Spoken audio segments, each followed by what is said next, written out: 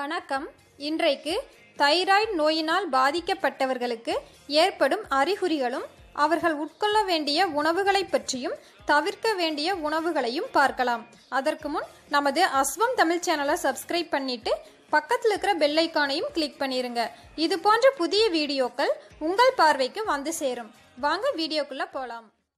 Thyroid பிரச்சனையில் இரண்டு வகைகள் உள்ளன. அவை ஹைப்போ தைராய்டிசம் மற்றும் ஹைப்பர் தைராய்டிசம் என்பதாகும்.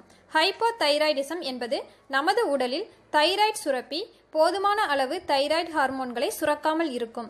இதனை குறை தைராய்டு என்று அழைக்கப்படுகிறது. இதனால் உடலில் அதிக அளவு குளிர் உணர்வது உடற்சோர்வு உலர்ந்த சருமம் உடல் எடை கூடுதல் ஞாபக மறதி மனச்சோர்வு மாதவிடாய் பிரச்சனைகள் கருத்தரிக்காமல் இருத்தல் கருச்சிதைவு போன்ற அறிகுறிகள் ஏற்படும். ஹைப்பர் தைராய்டிசம் என்பது நமது உடலில் தைராய்டு சுரப்பி அளவுக்கு அதிகமாக தைராய்டு ஹார்மோன்களை சுரப்பது ஆகும். இதனை மிகை தைராய்டு என்று அழைக்கப்படுகிறது. இதனால் உடல் எடை குறைவு மாதவிடாய் பிரச்சனைகள் கருச்சிதைவு மன அழுத்தம் பதட்டம் படபடப்பு அதிக கோபம் அதிக வியர்வை முடி உதிர்தல் அடிக்கடி மலம் கழித்தல் போன்ற அறிகுறிகள் ஏற்படும்.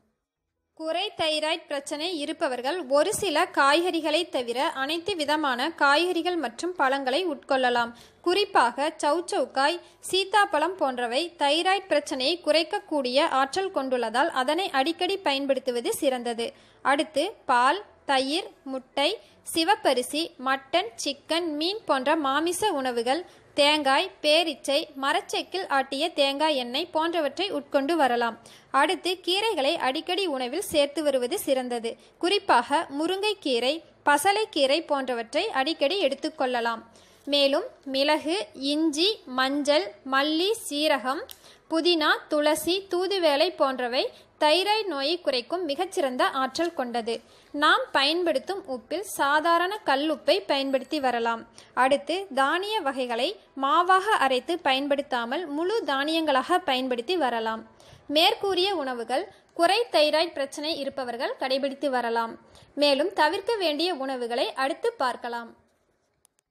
குறை தைராய்ட் பிரச்சனை இருப்பவர்கள் சோயா சோயா பொருட்கள் முள்ளங்கி காலிஃப்ளவர் சர்க்கரைவள்ளி கிழங்கு உருளைக்கிழங்கு நூல்கோல் புரொக்கோலி போன்ற காய்கறிகளை தவிர்க்க வேண்டும்.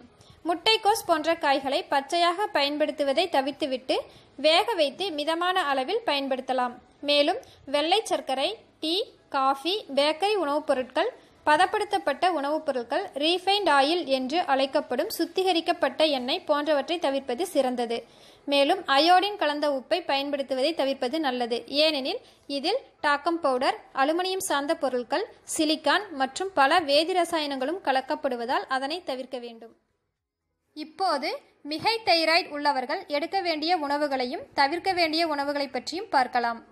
பொதுவாக அனைத்து விதமான காய்கறிகளையும் பழங்களையும் எடுத்துக்கொள்ளலாம் கீரை வகைகள் துளசி புதினா இஞ்சி மல்லி மிளகு சீரகம் மஞ்சள் சோயா சோயா பொருட்கள் போன்றவற்றை பயன்படுத்தலாம். மேலும் தேங்காய் மரச்செக்கில் ஆட்டிய தேங்காய் எண்ணெய் சாதாரண கல்லுப்பை பயன்படுத்தி வரலாம். சுத்திகரிக்கப்பட்ட எண்ணெய் பதப்படுத்தப்பட்ட உணவுகள் டீ காஃபி வெள்ளை சர்க்கரை மாமிச உணவுகளை தவிர்ப்பது சிறந்தது. மேற்கூறிய உணவு முறைகள் தைராய்டு நோயினால் பாதிக்கப்பட்டவர்களுக்கு உபயோகமாக இருந்திருக்கும்னு நினைக்கிறேன்.